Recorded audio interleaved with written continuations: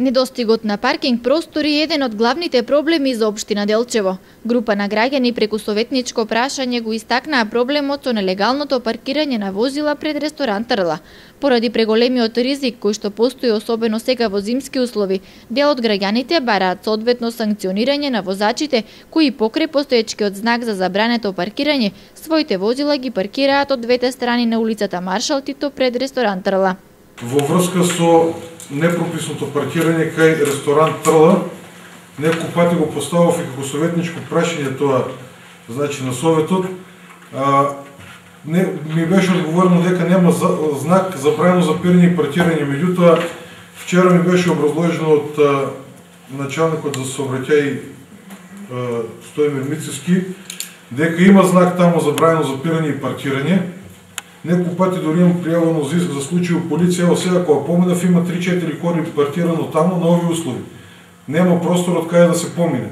А од оздоли идат коли, од згори идат коли. И самите газди на локало секој си ги остава колите пред ресторантот на, на патот.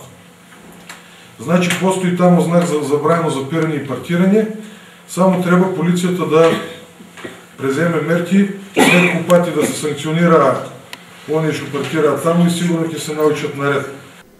Од полициската станица Делчево вела дека проблемот со паркирање го има на повеќе места во градот, а една од причините е што паркинг простори нема, а бројот на регистрирани возила на подрачјето на општина Делчево расте. Во 2010 година имало 2800 регистрирани возила, а во 2011 над 4000.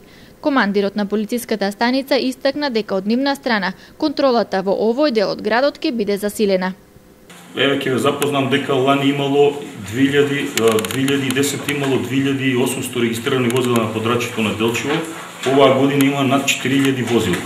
Значи за 2200, 2000, а за 1200 до 1300 е зголемен бројот на регистрирани возила во општина Делчево.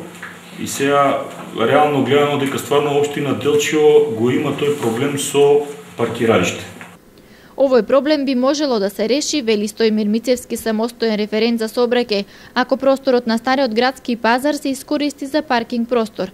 Така да би се решил и проблемот со паркирањето пред ресторант Трла и проблемот на такси превозниците кои наместо такси возилата да ги паркираат нелегално непосредно до раскрсницата на улиците Маршал Тито и Методи Митевски Брицо, би ги паркирале на паркингот од стариот градски пазар, доколку би се пренаменил за паркинг простор.